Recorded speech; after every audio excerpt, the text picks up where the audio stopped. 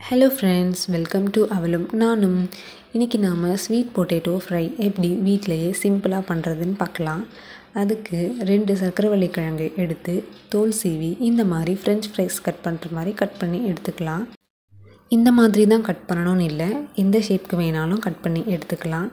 இப்போ ஒரு பாத்திரத்தில் தண்ணி காய வச்சு நல்லா கொதிச்சு வந்ததும் அதில் கொஞ்சமாக உப்பு சேர்த்து நாம் கட் பண்ணி வச்ச சர்க்கரைவள்ளி கிழங்கு சேர்த்து மூடி வச்சிடலாம் இதை கொதிக்க வைக்கணும்னு இல்லை. ஸ்டவ் ஆஃப் பண்ணிவிட்டு இந்த மாதிரி பண்ணலாம்.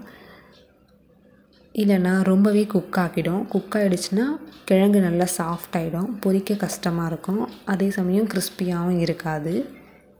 ஒரு பத்து நிமிஷம் கழித்து நம்ம தண்ணியிலேருந்து கிழங்கு எல்லாம் எடுத்து தனியாக வச்சிடலாம் இந்தளவுக்கு சாஃப்டானால் போதும். இப்போ இதில் மசாலா சேர்த்துடலாம் ரெண்டு டேபிள் ஸ்பூன் மிளகாய்த்தூள் தேவையான அளவு உப்பு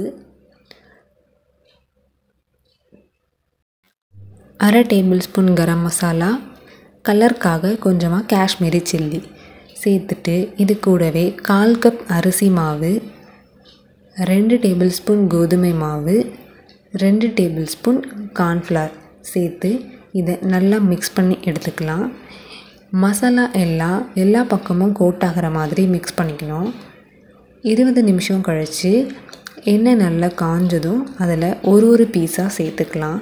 மொத்தமாக சேர்க்கும்போது எல்லாமே ஒட்டி வரும்.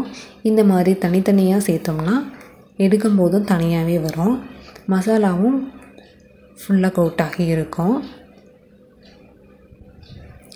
கலர் எல்லாம் நல்லா சேஞ்ச் ஆனதும் எண்ணெயிலேருந்து எடுத்துடலாம். அவ்வளோதான் சிம்பிளான டேஸ்டியான சர்க்கரைவள்ளி கிழங்கு ஃப்ரை ரெடி இந்த வீடியோ உங்களுக்கு பிடிச்சிருந்தா லைக் பண்ணுங்கள் ஷேர் பண்ணுங்கள் மறக்காமல் சப்ஸ்கிரைப் பண்ணுங்கள்